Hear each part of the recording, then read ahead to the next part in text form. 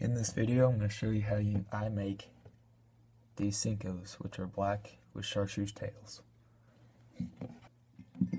First, we're going to take our chartreuse, which we already cut up, and we're going to put it in the microwave for three minutes or until it's melted.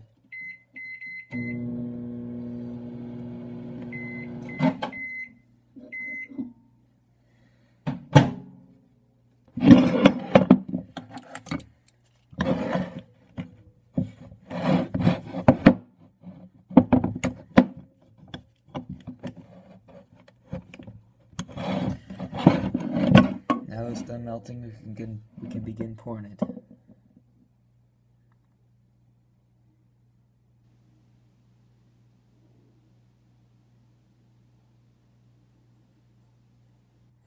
Now that our plastic is cooled, we can take it out of the mold.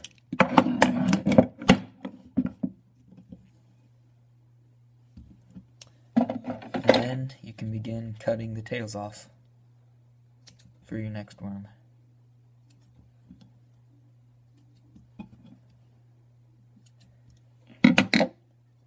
Now we'll put our black in the microwave.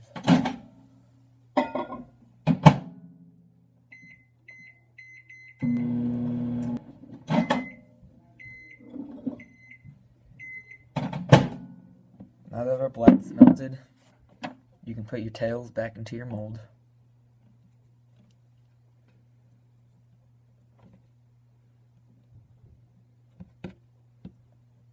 Close it up.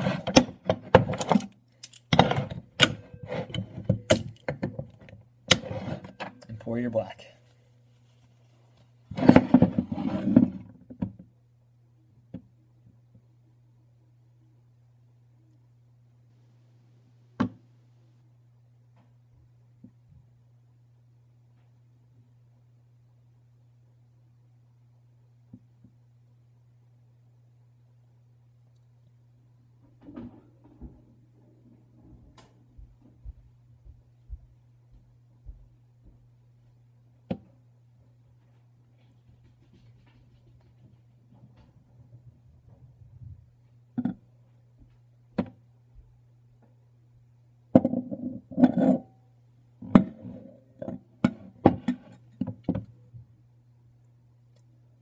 Once your black is cooled, you're ready to mold your worms for the final product.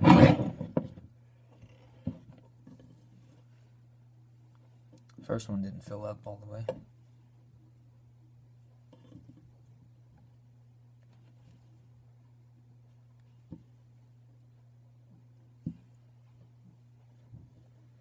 And there they are.